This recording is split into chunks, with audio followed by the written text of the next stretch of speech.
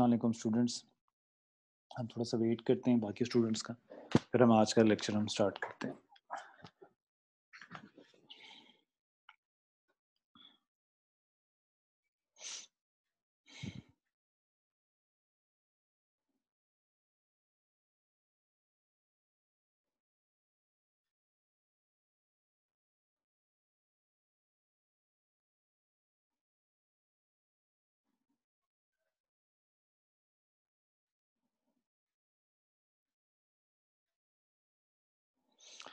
Okay students हम अपना lecture आज का स्टार्ट करते हैं। Welcome to the information security and this is the second week हमारा लेक्चर जो है उसके बारे में हम बात करेंगे।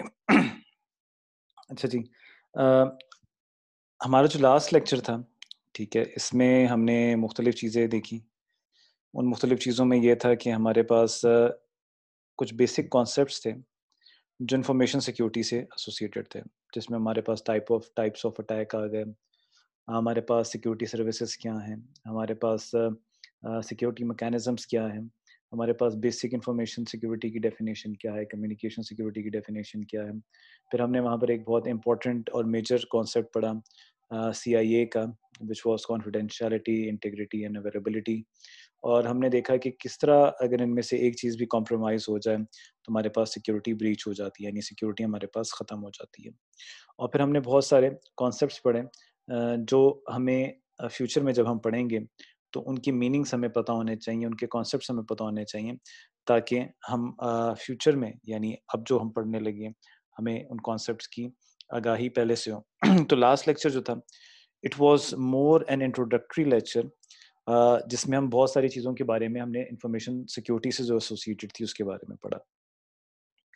अच्छा आज का जो हमारा लेक्चर है, आज का लेक्चर भी हमारे पास इंट्रोडक्टरी लेक्चर है, लेकिन आज का लेक्चर हम one step we are moving ahead हम उससे अब थोड़ा सा आगे चले गए। उस, अब हम अपनी इंफॉर्मेशन सिक्योरिटी के जो की कॉन्सेप्ट्स हैं, उनकी तरफ़ आ रहे हैं। जो हमने लास्ट लेक्चर में कॉन्सेप्ट पढ़े थे दे वर जनरल टर्म्स जो आपके पास ओवरऑल इंफॉर्मेशन सिक्योरिटी पर अप्लाई होते हैं। लेकिन जो हमारे मेन कंटेंट है हमारे पास अब हम उसकी तरफ़ चलना शुरू कर रहे हैं। आज का जो हमारा लर्निंग ऑब्जेक्टिव होगा uh, वो हमारे ऑब्जेक्टिव्स हैं वो हैं हमारे पास नेटवर्क uh, सिक्योरिटी का मॉडल क्या है क्रिप्टोग्राफी और सिमेट्रिक इंक्रिप्शन क्या होती है। Crypto analysis and brute force attacks क्या होते हैं? और मोटर मशीन एंड टेक्नोग्राफी क्या होती है? ठीक है जी, ये चीज़ें हमने पढ़ी हैं। अच्छा। हमारे पास जो नेटवर्क सिक्योरिटी का मॉडल होता है ये फिगर 1.4 ये जो आपके सामने है, इसमें हम ये रिप्रेजेंट कर रहे हैं।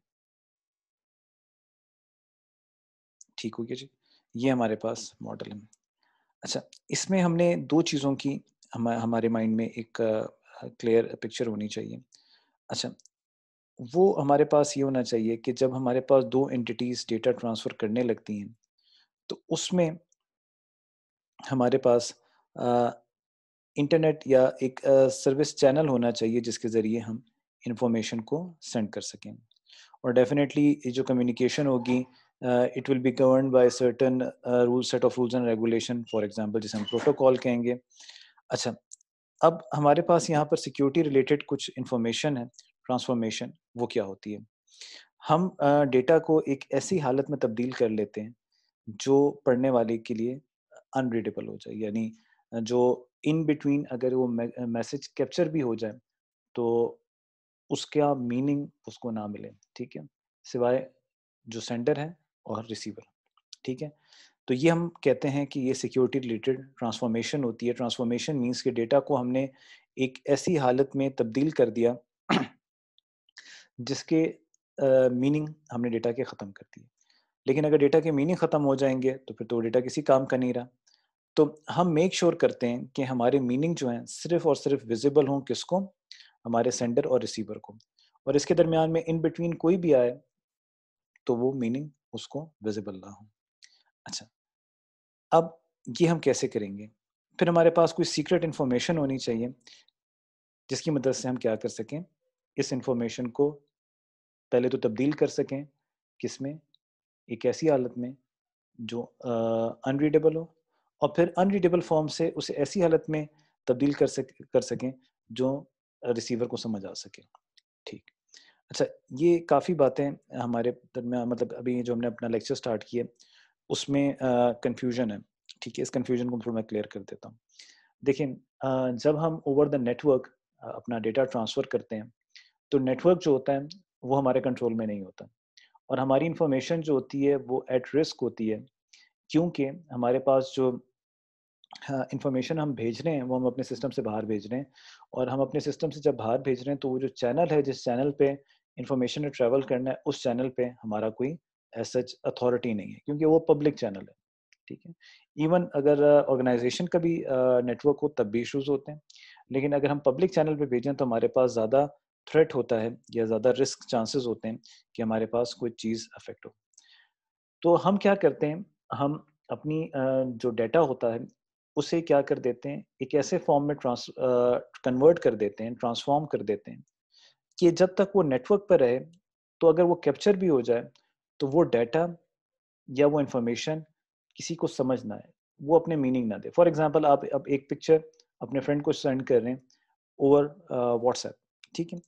अब अब आप इमेजिन करें कि आपके मोबाइल फ़ोन से जो पिक्चर गई है, आपके फ्रेंड के मोबाइल फ़ोन तक फॉर एग्जांपल आपका फ्रेंड जो है, वो रावलपिंडी के दूसरे एंड पर बैठा हुआ है तो वो कितने राउटर्स और कितने नेटवर्क से होती हुई जाएगी, ठीक है?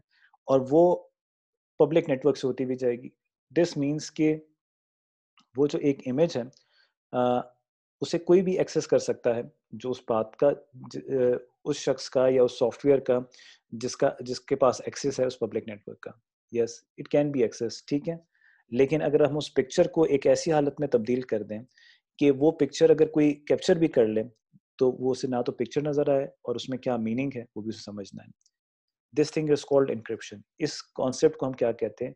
इंक्रिप्शन जब हम डेटा को एक ऐसी हालत में अनरीडेबल फॉर्म में ट्रांसफॉर्म कर दें this thing is called encryption लेकिन इस इंक्रिप्शन में हमारे पास एक मसला हो जाता है कि अगर हम डेटा को इनक्रिप्ट कर दें तो सेंडर और रिसीवर के लिए एक इशू हो जाएगा। सेंडर के लिए तो इशू इसलिए नहीं होगा क्योंकि सेंडर के पास एक ऑलरेडी एक कॉपी होगी जो मीनिंगफुल फॉर्म में होगी। लेकिन जो रिसीवर रिसीव करेगा, उसके लिए इशू होगा। उसके लिए ये इशू होगा, क्योंकि वो उस डेटा को भी नहीं रीड कर सकेगा। यानी फॉर हिम जो डेटा होगा, वो भी एक अनरीडेबल फॉर्म में ही होगा। तो उसके लिए हमें कुछ सीक्रेट इन्फॉर्मेशन चाहिए और सीक्रेट इन्फॉर्मेशन को हम क्या कहते हैं? की कहते हैं। की हमारे पास एक सीक्रेट इन्फॉर्मेशन होती है, जो सिर्फ़ किसको पता होती है? सेंडर को पता होती है, और दूसरी चीज़ किसको पता होती है? रिसीवर को पता होती है। और उस की की मदद से जो सेंडर है, वो इट इज़ जस्ट लाइक एक मैसेज आपने किसी को भेजना है, पुराने ज़माने में ऐसे ही होता था, उस मैसेज को आपने एक बॉक्स में बंद कर दिया, ठीक है? और उस बॉक्स की दो कीज़ हैं सम हाउ आपने पहले जिस बंदे को भेजना था, एक ही उसके पास है, एक ही आपके पास है। अब आपने उस बॉक्स को जब बंद कर दिया है, ठीक है, उसके अंदर मैसेज है, और आपने एक शख्स को दे दिया है कि ये आपने फलान अली है, अली को आपने देना है अब अली के पास पहले से की मौजूद है? अगर वो बॉक्स टूटा हुआ या खुला हुआ दिस मीन्स के इंफॉर्मेशन ये मैसेज करप्ट हो गया लेकिन अगर अली के पास वो मैसेज आ जाता है तो अली के पास की है जिसके ज़रिए वो बॉक्स को ओपन कर सकता है और उस, उस मैसेज को रीड कर सकता है। ये एक मैकेनिज्म है। अब हमारे पास जो सीक्रेट की है सीक्रेट इन्फॉर्मेशन है ये वो की है। अगर मेरे और अली के अलावा वो की किसी और को मिल जाएगी दिस मीन्स के हर कोई मेरा मैसेज पढ़ सकेगा जिस जिसके पास वो की है। लेकिन अगर वो की सीक्रेट है यानी सिर्फ़ मेरे और अली के पास है तब वो मैसेज कोई भी नहीं पढ़ सकेगा। ठीक अब हम एक ये मॉडल ऑफ़ नेटवर्क सिक्योरिटी पढ़ते हैं। मॉडल ऑफ़ नेटवर्क सिक्योरिटी क्या है इसको हम ज़रा देखते हैं। आ, हमारे पास ये एक मैसेज है ठीक है?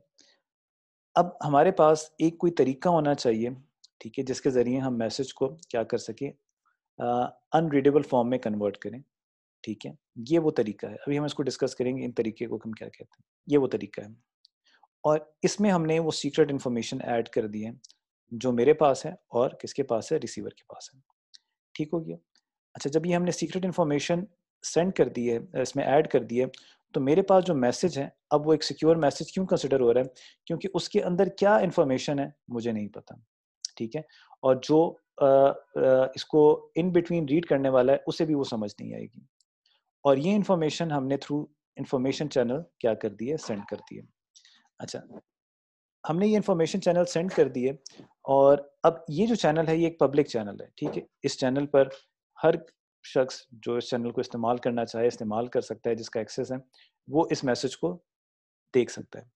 लेकिन उसको देखने से कोई फ़ायदा नहीं होगा बिकॉज़ ये अपनी इंफॉर्मेशन नहीं देगा। जब ये मैसेज पहुंचेगा रिसीवर के एंड पर तो रिसीवर भी वही स्टेप्स अप्लाई करेगा, जो किसने किए थी, जो हमारे सेंडर ने किया था। और वही सीक्रेट इन्फॉर्मेशन यहाँ पर डालेगा और सीक्रेट इन्फॉर्मेशन डालने के साथ ही हमारे पास जो सिक्योर मैसेज है, वो अपनी नॉर्मल हालत में आ जाएगा, जो रिसीवर के लिए क्या हुआ, एक्सेप्टेबल हो। ठीक है? तो this is called network security model ठीक है कि नेटवर्क पे जब हमारा डेटा जाता है तो वो सिक्योर नहीं होता, क्योंकि वो एक पब्लिक नेटवर्क होता है उस पर बहुत लोगों का एक्सेस होता है सेंडर और रिसीवर के अलावा, और जो आप डेटा भेजते हैं, वो बड़ी आसानी से एक्सेसिबल होता है तो हमें उसे कन्वर्ट करना पड़ता है। जो ये सीक्रेट इन्फॉर्मेशन है, इसकी दो टाइप्स होती हैं, आगे जाके हम देखते हैं। एक को हम कहते हैं सिमेट्रिक इंक्रिप्शन दूसरी को हम कहते हैं एसिमेट्रिक इंक्रिप्शन इन दोनों में फ़र्क क्या है, हम ये देखते हैं। यहाँ पर इस सीक्रेट इन्फॉर्मेशन की ट्रांसफॉर्मेशन के लिए, यानी सेंडर से रिसीवर तक ये कैसे जाए, उसके लिए हमारे पास कुछ मैकेनिज्म्स होते हैं। अगर हम ये सीक्रेट इन्फॉर्मेशन खुद नहीं दे सकते और बहुत सारी सिचुएशंस में हम ये सीक्रेट इन्फॉर्मेशन खुद नहीं पास ऑन कर सकते तो हम क्या करते हैं, हम किसी थर्ड पार्टी की सर्विसेज़ लेते हैं कि वो हमारे लिए ये इन्फॉर्मेशन शेयर कर ले। और थर्ड पार्टी जो होती है, फिर उसके लिए वो मुख्तलिफ़ किस्म के चार्जेस भी करती है। इवन हायर लेवल पे इट्स अ बिज़नेस कि आपके पास सिक्योर सर्विसेज़ सीक्रेट इन्फॉर्मेशन यानी सीक्रेट इन्फॉर्मेशन जिसे हम की कह रहे हैं, इसको वो सिक्योरली कैसे ट्रांसमिट कर सके। अच्छा अब हमारे पास जो ये मकैनिज़म था, जिसके ज़रिए हमने एक मैसेज को नॉर्मल मैसेज को सिक्योर मैसेज में ट्रांसफॉर्म किया this thing is called security service algorithm security service algorithm, जैसे आपको एल्गोरिदम के बारे में पता है, ये सेट ऑफ़ सर्टेन स्टेप्स होते हैं, जिनके ज़रिए हम क्या कर सकते हैं, हम कोई ऑब्जेक्टिव हासिल कर सकते हैं। तो यहाँ पर हमारे पास जो ऑब्जेक्टिव है, वो ये है कि हमने अपने मैसेज को एक सिक्योर मैसेज में ट्रांसफॉर्म करना है। ठीक हो गया जी? और हमारे पास जो रेसिपियंट होता है सेम एल्गोरिदम यहाँ पर भी अप्लाई होता है, यानी ये सेम एल्गोरिदम यहाँ पर भी अप्लाई होगा।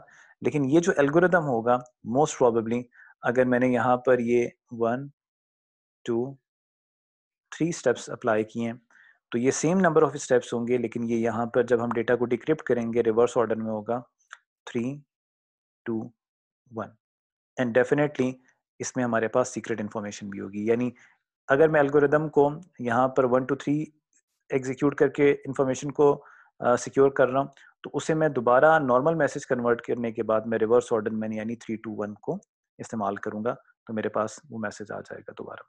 ठीक हो गया? अच्छा ये कुछ designing of security service algorithm होता क्या है? इसके कुछ फोर बेसिक टास्क हैं जो हमें पता होना चाहिए। Design algorithm for performing security related transformation. The algorithm should be such that an opponent cannot defeat its purpose. Opponent कौन है? Opponent वो शख्स है जिसका एक्सेस क्या है? हमारे इस इंफॉर्मेशन चैनल पर है। यानी डिफीट इट्स पर्पस क्या क्या मतलब है? डिफीट इट्स पर्पस का ये मकसद है कि हमारे पास जो एल्गोरिदम है, वो सिक्योर रहना चाहिए। यानी वो क्रैक नहीं होना चाहिए। इस मैसेज सिक्योर मैसेज से कोई मीनिंग ना निकाल दे तो सबसे पहला हमारा ऑब्जेक्टिव ये होना चाहिए। अच्छा फिर हमारे पास generate secret information to be use with the algorithm जो ये हमारे पास सीक्रेट इन्फॉर्मेशन है, ये वाली बात जो हम कह रहे हैं, ये हमारे पास, हमारा एल्गोरिदम ऐसा डिज़ाइन होना चाहिए कि हमारे पास ये सीक्रेट इन्फॉर्मेशन क्या हो सके, हमारे एल्गोरिदम के साथ क्या हो सके, इस्तेमाल हो सके। सेंडिंग साइड पर भी रिसीविंग साइड पर भी। Develop method for the distribution and sharing of secret information हमारे पास कोई ऐसा मैकेनिज्म भी होना चाहिए कि हम इन अ सिक्योर मैनर जो हमारे पास सीक्रेट इन्फॉर्मेशन है, जिसे हम की कह रहे हैं वो सेंडर और रिसीवर के दरमियान में शेयर होनी चाहिए। जैसे हमने यहाँ पर बात की थी थर्ड पार्टी की। क्लियर हो गया? Final point is specify a protocol to be use by the two principals that make use of security algorithm and secret information to achieve particular security service आप जब सीएन पढ़ते होंगे तो आपने protocol का डेफिनेशन आपको पता चली होगी। और प्रोटोकॉल की डेफिनेशन ये होती है set of rules and regulation अब यहाँ पर जो फोर्थ पॉइंट है, वो बहुत इंपॉर्टेंट है और वो ये कह रहा है कि जो set of rules and regulation sending side पर अप्लाई होते हैं, वही set of rules and regulation कहाँ पर अप्लाई होने चाहिए? रिसिपियंट साइड पे भी, यानी रिसीवर साइड पे भी। अगर सेम सेट ऑफ़ रूल्स होंगे, यानी सेम प्रोटोकॉल होगा, तभी हमारे पास ये चीज़ें हो सकती हैं। और उसमें ये भी बताना है कि हमने कौन सा एल्गोरिदम यूज़ करना है सिक्योरिटी सर्विसेज़ को कैसे यूज़ करना है, ये सारी चीज़ें डिफाइंड होंगी। सही हो गया जी? अच्छा मैं एक क्विक रिव्यू दोबारा देता हूँ ताकि आपको ज़रा समझ आ जाए। हमारे पास जो नेटवर्क सिक्योरिटी मॉडल है, ये आपको ये बताता है कि आपने अपने मैसेज को ओवर द नेटवर्क सिक्योर करना है। सिक्योर किस तरह करेंगे? With the help of encryption algorithm ठीक है? सिक्योरिटी सर्विस एल्गोरिदम जिसे कह रहे हैं। सिक्योर मैसेज जो होता है, वो एक ऐसा मैसेज होता है जो ओवर द चैनल अपनी मीनिंग किसी को ज़ाहिर नहीं करता। क्योंकि ओवर द चैनल ओपोनेंट का एक्सेस होता है आपके किस पर? आपके चैनल पर। अच्छा आप और हमारे पास नेटवर्क सिक्योरिटी मॉडल हमें ये भी कहता है कि जब ये सिक्योर मैसेज आपका रिसिपेंट एंड पे पहुँच जाए तो आपने सेम सिक्योरिटी सर्विसेज़ जिसमें आपके पास प्रोटोकॉल और आपके पास सीक्रेट इन्फॉर्मेशन होती है, वो अप्लाई करनी होती है, एक ख़ास प्रोटोकॉल के ज़रिए, एक ख़ास rule set of rules and regulation के तहत, ताकि आपका मैसेज क्या हो सके, दोबारा अपनी असल हालत में आ जाए, यानी डिक्रिप्ट हो जाए। तो ये हमारे पास नेटवर्क सिक्योरिटी मॉडल था। आई होप कि आपको समझ आया होगा ठीक है? हमारे पास फिर एक कॉन्सेप्ट आता है सिमेट्रिक इंक्रिप्शन सिमेट्रिक इंक्रिप्शन क्या चीज़ होती है? सिमेट्रिक सिमेट्री uh, कहते हैं किसे? फॉर uh, एग्जांपल मेरे पास ये एक सर्कल है ठीक है? ये एक परफेक्ट सर्कल है। अगर इस सर्कल को मैं एग्जैक्टली exactly दो हिस्सों में बिल्कुल दरमियान से डिवाइड कर दूँ तो ये वाला हिस्सा और ये वाला हिस्सा इक्वल है। This thing is called symmetry symmetry similarly मेरे पास ये एक ट्राइंगल है। इस ट्राइंगल को अगेन अगर मैं दो हिस्सों में एग्जैक्टली exactly डिवाइड कर दूँ तो इसके भी दो हिस्से क्या होंगे? एग्जैक्टली exactly क्या हो जाएँगे? सिमेट्रिकल हो जाएँगे।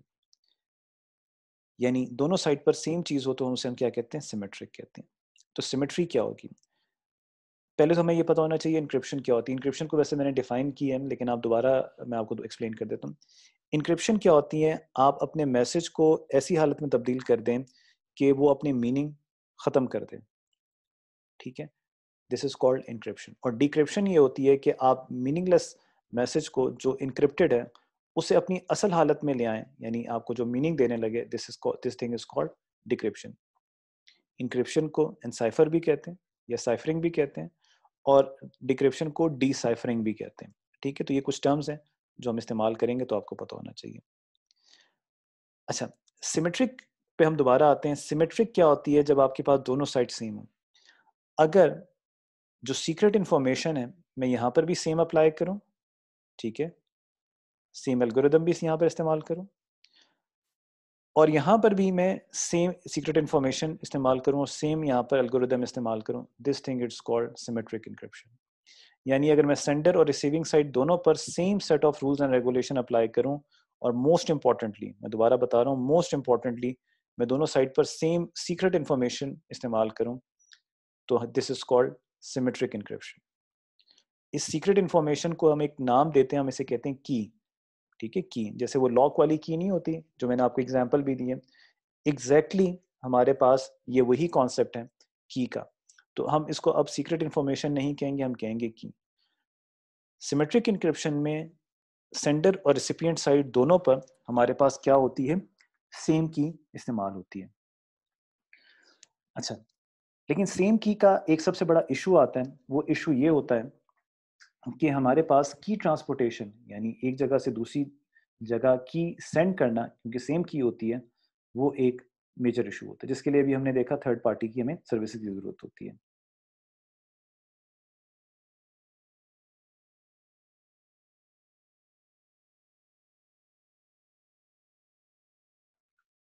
तो ये हमारे पास सिमेटिक इंक्रप्शन का सबसे बड़ा एक इशू है लिमिटेशन है कि हमें की ट्रांसपोर्ट करनी पड़ती है। इसका एक हल है जिसे हम कहते हैं एसिमेट्रिक इंक्रिप्शन एसिमेट्रिक इंक्रिप्शन क्या होती है? या नॉन सिमेट्रिक इंक्रिप्शन क्या होती है? कि हमारे पास सेम की दोनों साइड्स पर अगर इस्तेमाल ना हो डिफरेंट कीज इस्तेमाल हो this is called asymmetric encryption ठीक है? अब यहाँ पर आ, हमारे माइंड में एक क्वेश्चन आएगा कि ये कैसे होगा? तो ये बड़ी आसानी से पॉसिबल है। हमारे पास मुख्तलिफ़ किस्म के एल्गोरिदम्स हैं। और उसे हम पब्लिक की इंफ्रास्ट्रक्चर भी कहते हैं। पब्लिक की इंफ्रास्ट्रक्चर में हमारे पास दो कीज़ होती हैं, एक को हम कहते हैं प्राइवेट की और एक को हम कहते हैं पब्लिक की प्राइवेट की हम किसी के साथ शेयर नहीं करते और पब्लिक की हम किसी को भी दे देते हैं। हम पब्लिक की के ज़रिए कम्युनिकेशन करते हैं और प्राइवेट की के ज़रिए डेटा को इनक्रिप्ट या डिक्रिप्ट करते हैं। खैर इट्स टू अर्ली थोड़ा सा advance topic it's too early कि हम इसको अभी एक्सप्लेन करें, लेकिन आपको थोड़ा सा समझ आ गया। तो सिमेट्रिक इंक्रिप्शन वो इंक्रिप्शन होती है जहाँ पर दोनों साइड पर सेम की इस्तेमाल होती है। 1970s में पब्लिक की इंफ्रास्ट्रक्चर आए। पब्लिक की इंफ्रास्ट्रक्चर आया, ठीक है इंक्रिप्शन स्टैंडर्ड आया 1970s में। उससे पहले तमाम इंक्रिप्शन जो थी, वो क्या थी? सिमेट्रिक की थी। और ये सदियों से सिमेट्रिक इंक्रिप्शन चल रही थी। जब मैं सदियों की बात करता हूँ तो hundreds and thousands of years क्योंकि इवन बिफोर जीसस क्राइस्ट ठीक है? जैसे कहते हैं ना B C before Jesus Christ before Christ की तो बात हम कर रहे हैं। तब भी हमारे पास इंक्रिप्शन के मैकेनिज्म थे और लोग डेटा को या मैसेज को इनक्रिप्टेड फॉर्म में एक जगह से दूसरी जगह ट्रांसमिट करते थे और सेंड करते थे। और वहाँ पर भी सिमेट्रिक इंक्रिप्शन ही इस्तेमाल होती थी। अच्छा अब यहाँ पर हमारे पास कुछ टर्म्स हैं जिनको हमने देखना होगा। हमारा जो ओरिजिनल मैसेज होता है ओरिजिनल मैसेज इसको हम क्या कहते हैं? प्लेन टेक्स्ट यानी जो हमें मीनिंग दे और वो मीनिंग अगर आप पढ़ें, तब भी उसकी मीनिंग समझ आए, मैं पढ़ूँ, तब भी मीनिंग समझ आए, यानी कोई भी शख्स पढ़े, उसे मीनिंग समझ आए। यानी जो आपका मैसेज हो, अपनी ओरिजिनल हालत में हो, उसे हम क्या कहते हैं? प्लेन टेक्स्ट जब हम उसे ट्रांसफॉर्म कर देते हैं, यानी इनक्रिप्ट कर देते हैं, और वो किसी को समझ ना आए, उसे हम क्या कहते हैं? साइफर टेक्स्ट ठीक है? जो प्रोसेस होता है कन्वर्जन का प्लेन टेक्स्ट से साइफर टेक्स्ट में इस प्रोसेस को हम क्या कहते हैं? एनसाइफरिंग या इंक्रिप्शन यहाँ पहले भी टर्म्स अभी डिस्कस कर चुके हैं और यहाँ पर क्लियरली लिखा हुआ है, ठीक है? जो ये प्रोसेस होता है, जिसमें हम प्लेन टेक्स्ट को साइफर टेक्स्ट में तब्दील करते हैं, इस प्रोसेस को या तो हम इनसाइफर कहेंगे या फिर इसको इंक्रिप्शन कहेंगे। और वापस साइफर टेक्स्ट से प्लेन टेक्स्ट में आने को, यानी रिस्टोर प्लेन टेक्स्ट को करने को, हम डी या डिक्रिप्शन कहेंगे, ठीक हो गया?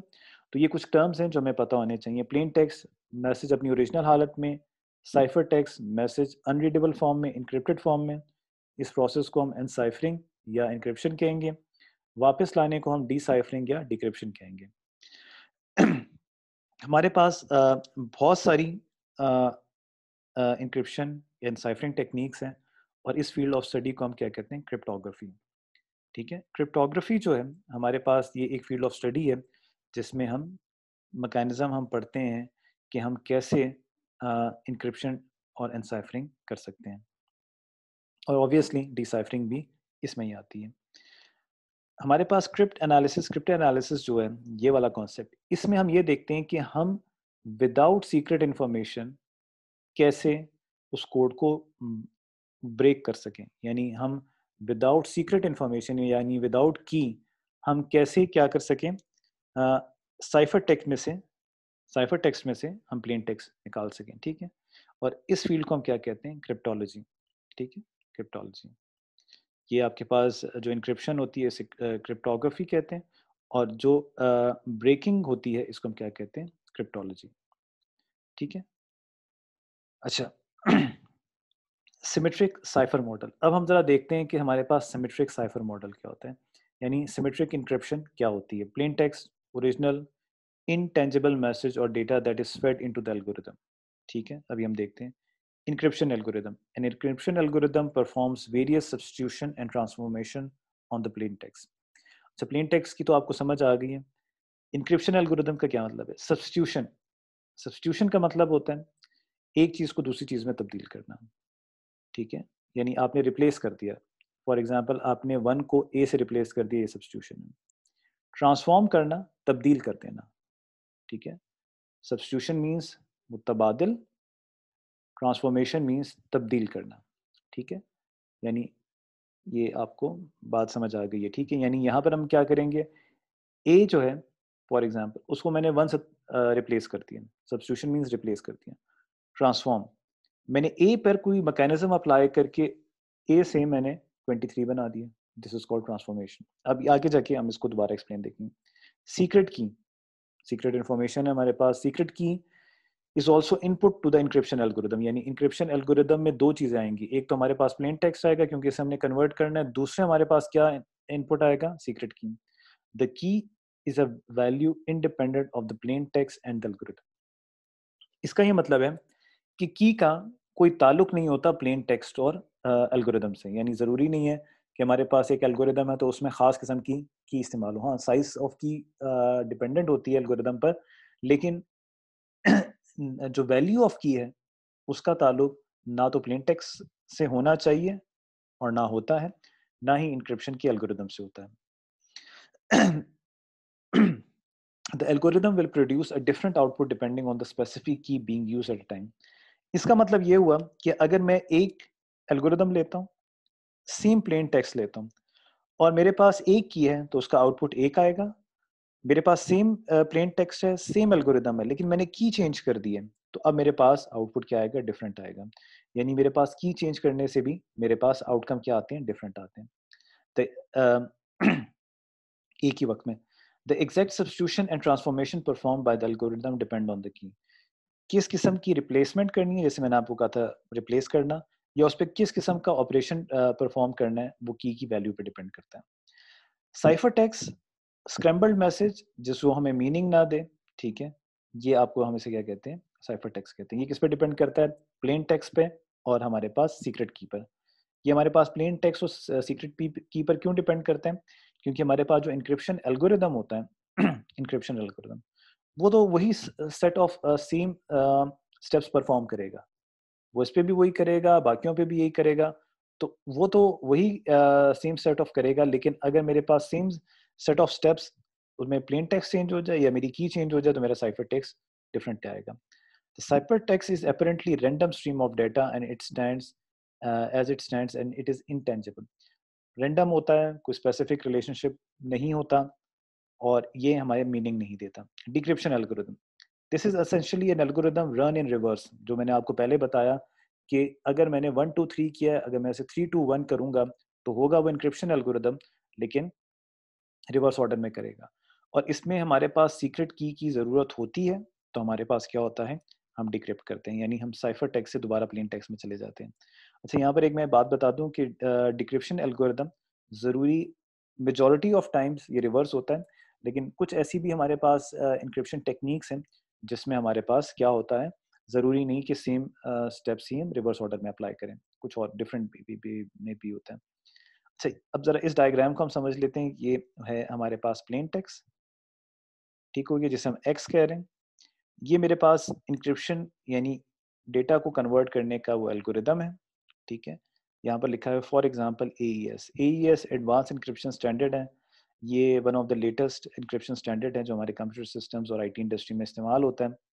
के इज़ द की ठीक है? ये वो सीक्रेट इन्फॉर्मेशन है जो यूनिक होती है यूनिक ना भी हो, ये सिर्फ़ आपको और रिसीवर को पता होती है, ठीक है? ये आपने यहाँ पर अप्लाई की, यहाँ से आपके पास प्लेन टेक्स्ट आया।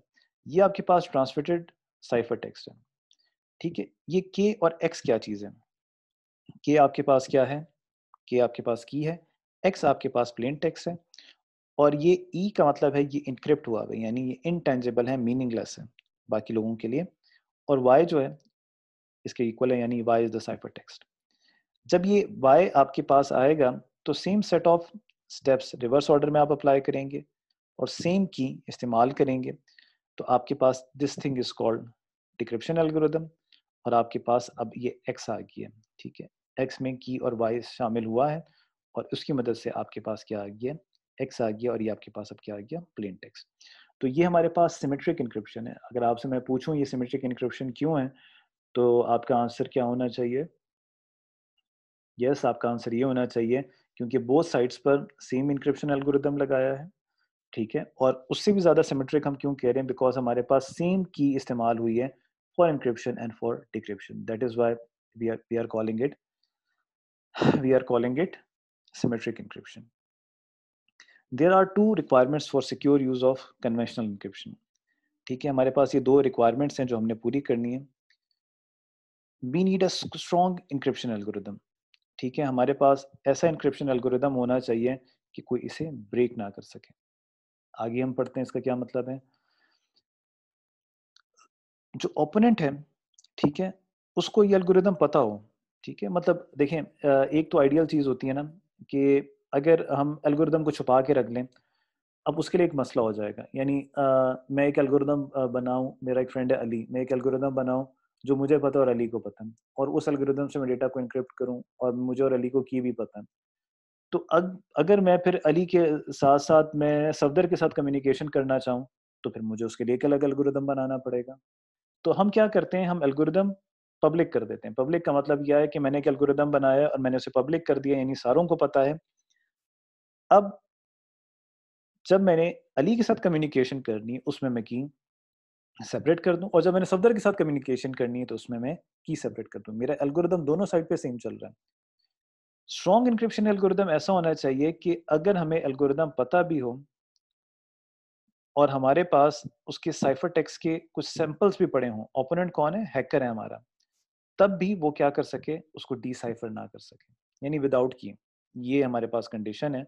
विदाउट की दोबारा मैं बता रहा हूँ स्ट्रॉन्ग इंक्रिप्शन एल्गोरिदम एक ऐसा एल्गोरिदम होता है जो मेरे ओपोनेंट यानी हैकर को पता है उस एल्गोरिदम के बारे में।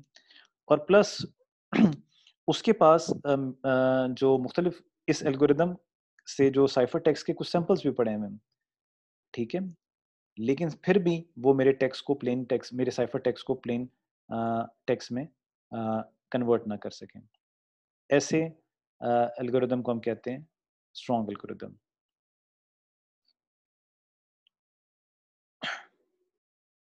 अच्छा हमारे पास ये क्या है कि की भी फाइंड आउट ना कर सके, ठीक है? ओके दूसरी रिक्वायरमेंट क्या है? Sender receiver must have obtained copies of the secret key in a secure fashion and must keep it key secure ठीक है, हमारे पास दो रिक्वायरमेंट्स होनी चाहिए। एक तो पहली रिक्वायरमेंट आपको समझ आ गई है, दूसरी रिक्वायरमेंट ये कि हमारे पास जो की यानी सीक्रेट इंफॉर्मेशन की आ, क्या है? कम्युनिकेशन है। वो सिक्योर मैनर में हो कि मतलब हमारी की क्या है कहीं चोरी ना हो जाए। देखें अगर मेरी की चोरी हो गई तो मैं चाहे जितना भी स्ट्रॉन्ग एल्गोरिदम बनाऊँ आपके हैकर के पास या आपके ओपोनेंट के पास की है वो बड़ी आसानी से उसको लॉक कर को उसको ओपन कर देगा। ठीक है? तो हमारे पास सेकंड रिक्वायरमेंट क्या है? एल्गोरिदम अगर स्ट्रॉन्ग बन भी जाए तो उससे भी इम्पोर्टेंट चीज़ क्या होगी कि जब मैं की को ट्रांसपोर्ट करूँ from the sender to the receiver मेरी जो की है, वो एक सिक्योर फ़ैशन में जाए, ताकि हमारे पास क्या हो, कोई इशू ना आए। ठीक हो गया जी? अच्छा क्रिप्ट एनालिसिस क्रिप्ट एनालिसिस जो है, ये क्या होती है? क्रिप्ट एनालिसिस हमारे पास वो इंटेलिजेंट तरीका होता है, जिसके ज़रिए हम क्या करते हैं? हम हमारा जो डाटा होता है जो हमारा साइफर टेक्स्ट होता है उसे हम क्या करना चाहते हैं? हम क्रैक करना चाहते हैं। ठीक है? अब आ, दो तरीके हैं। एक तरीका तो ये कि मैं क्या करूँ?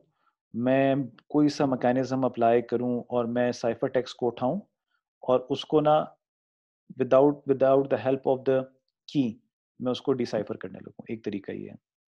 दूसरा तरीका यह है कि मैं उसके तमाम कॉम्बिनेशन अप्लाई करना शुरू कर दूँ करना लगूँ और एक ना, एक कॉम्बिनेशन तो उसमें मैच करेगा। अच्छा ये क्या बात हो रही है? इसको ज़रा हमने देखना है। ठीक है? अच्छा ये हम पढ़ लेते हैं। We assume that it is impractical to decrypt message on the basis of the ciphertext plus the knowledge of encryption algorithm. ठीक है? ये इम्प्रैक्टिकल क्यों है? ये इम्प्रैक्टिकल इसलिए है कि मैंने एक साइफर टेक्स्ट उठाया, यानी चैनल पे एक साइफर टेक्स्ट जा रहे हैं, मैंने उठाया और मैं क्या कर रहा हूँ, उसको डिक्रिप्ट करने लग रहा हूँ, ठीक है? मुझे पता है ये साइफर टेक्स्ट है, ठीक है? और मुझे पता है कि इस पर कौन सा इंक्रिप्शन है या डिक्रिप्शन एल्गोरिदम लगेगा मैं उसे कन्वर्ट कर रहा हूँ। ये क्यों प्रैक्टिकल है? ये इसलिए प्रैक्टिकल है क्योंकि शायद मैं एक दफ़ा कर दूँ, फिर नेक्स्ट टाइम मुझे सेम एफर्ट करनी पड़ेगी दूसरे साइफर टेक्स्ट के लिए भी, ठीक है? क्योंकि हमारे पास पैटर्न चेंज भी तो हो सकते हैं। तो क्रिप्ट एनालिसिस में हम आ, हमारे पास जो आइडियल सिनेरियो होगा वो आइडियल सिनेरियो ये होगा कि मैं की ब्रेक कर लूँ। अगर मैंने सम हाउ की ब्रेक कर ली तो फिर मुझे every time same amount of effort नहीं करनी पड़ेगी। देन एवरी टाइम मुझे क्या करना पड़ेगा? मेरे पास मैसेज आएगा साइफर टेक्स्ट एल्गोरिदम तो मेरे पास मौजूद है मुझे पता है कि कौन सा एल्गोरिदम यूज़ कर रहे हैं मैं क्या करूँगा? उस की से उसे अनलॉक करता जाऊँगा यानी डिक्रिप्ट करता जाऊँगा। यहाँ पर ये लिखा हुआ है in other word we do not need to keep the algorithm secret we need to keep the only the key secret क्योंकि क्रिप्ट एनालिसिस में हमारा फोकस ये होता है कि हमें समाव की पता चलता है। तो हमने एल्गोरिदम को सीक्रेट नहीं रखना, हमने की को सीक्रेट रखना। This feature of symmetric encryption makes it feasible for widespread use और जैसे मैंने कहा था कि मैं, अगर अली से भी बात कर रहा हूँ, मैं सफदर से भी बात कर रहा हूँ, अगर मैं अपना एल्गोरिदम सीक्रेट रखूँगा तो फिर मैं हर एक के लिए अलग एल्गोरिदम बनाऊँगा which is not practically possible तो हमारे पास सिमेट्रिक इंक्रिप्शन क्यों इतनी इस्तेमाल हो रही है? क्योंकि हम उसमें की को सीक्रेट रखते हैं, बाकियों को नहीं करते अच्छा ये हमारे पास एक क्रिप्टोग्राफी है। उसमें हमारे पास ये एक डायग्राम है। इस डायग्राम को मैं एक्सप्लेन कर देता हूँ, फिर हम बात करते हैं। ये मेरा मैसेज आ गया जी, जिसे हम प्लेन टेक्स्ट कह रहे हैं। ठीक हो गया? This is the message X ये इंक्रिप्शन एल्गोरिदम हो गया, ये मेरे पास की आ गया। हमने एक सिक्योर मैनर से इस की को ट्रांसपोर्ट कर दिया, किधर? रिसिपियंट के पास भी, यानी अब की दोनों साइड्स पर चली गई। ठीक? और यहाँ पर डिक्रिप्शन एल्गोरिदम अप्लाई करके मैंने मैसेज भेज दिया डेस्टिनेशन पे। यहाँ पर ही मेरा साइफर टेक्स भेज रहा हूँ, ठीक है? ये मेरा साइफर टेक्स आ रहा है। क्रिप्ट एनालिसिस मीन्स कि मैं समहाउ मैसेज को डिक्रिप्ट करूँ, उससे बेहतर है कि मैं की को डिक्रिप्ट कर दूँ, ठीक है? की की बात करें। तो हम दोनों में इंटरेस्टेड होते हैं, लेकिन मैसेज को डिक्रिप्ट करना इम्प्रैक्टिकल इसलिए हो जाता है क्योंकि मुझे हर दफ़ा सेम अमाउंट ऑफ़ एफर्ट करनी पड़ेगी, लेकिन समहाउ अगर मैंने की को डिक्रिप्ट कर दिया तो ये मैंने एक दफ़ा कर दिया, अब जितने भी मैसेजेस गुजरेंगे, मुझे बहुत मिनिमम एफर्ट के साथ मैं उसको क्या करता जाऊँगा, डिक्रिप्ट करता जाऊँगा। तो ये हमने इस तरह का कोई मैकेनिज्म बनाना है कि जिसमें हमारे पास ये सिक्योर चैनल हो की की ट्रांसमिशन के लिए की कहीं पर अगर हमसे लीक हो गई तो फिर हमारे मैसेज का एल्गोरिदम जितना भी स्ट्रॉन्ग हो, इसका कोई फ़ायदा नहीं होगा। अच्छा। ओके स्टूडेंट्स ये हम टॉपिक स्टार्ट कर लेते हैं। क्रिप्टोग्राफी में हमारे पास तीन चीज़ों के, तीन डायमेंशंस होती हैं जिसके ज़रिए हम क्रिप्टोग्राफी को स्टडी करते हैं। पहला तरीका जो होता है टाइप ऑफ़ ऑपरेशन होता है। टाइप ऑफ़ ऑपरेशन का मतलब ये है कि हमारे पास इंक्रिप्शन दो प्रिंसिपल्स पे बनती है।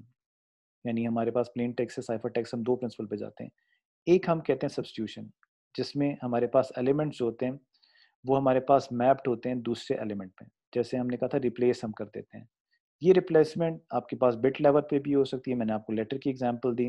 ग्रुप ऑफ़ बिट्स और ग्रुप ऑफ़ लेटर्स पे भी हो सकती है। यानी हम एक एक लेटर को भी कन्वर्ट कर सकते हैं, बिट को भी वन वन बिट को भी कर सकते हैं, डिजिटल डेटा में बिट आएगी, या ग्रुप ऑफ़ बिट्स को या ग्रुप ऑफ़ लेटर्स को भी कर सकते हैं।